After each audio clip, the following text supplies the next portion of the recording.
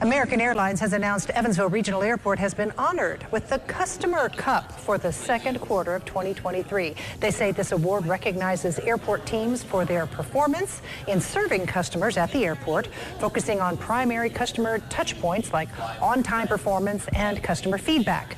EVV was awarded the Customer Cup for exceeding performance goals in each category.